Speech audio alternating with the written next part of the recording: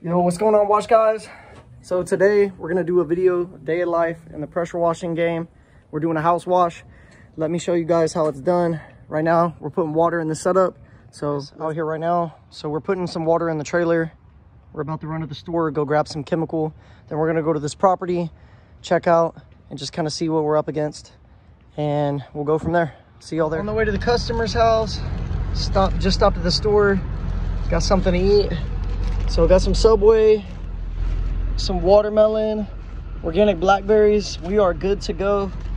See y'all when we get there. Pulling up to the customer's house. About to give y'all a walk around on the driveway and exactly what we're working with. It just occurred to me, ma'am, how good this watermelon is. It's like 90 degrees out right now. I'm just like, man, today is a nice day. It's definitely a nice day to wash. It's pretty hot, but it's gonna be great. I'm gonna go out here and we're gonna do this, man. Let's get it. So we're definitely on a little bit of an incline. Um, I'm about a hundred gallons right now in the water tank. I got a full 42 years ago, I think exactly.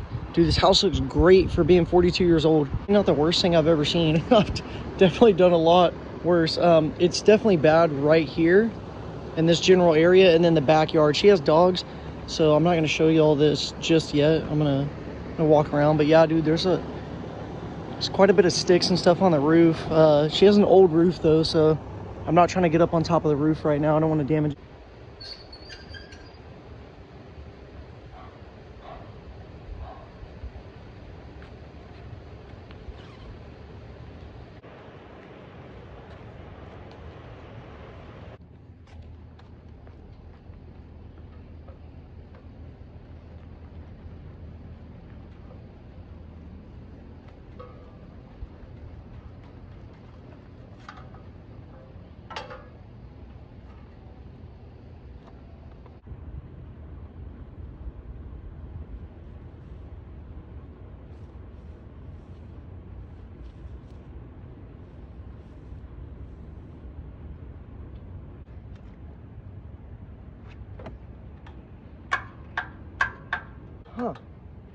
Well, that's interesting.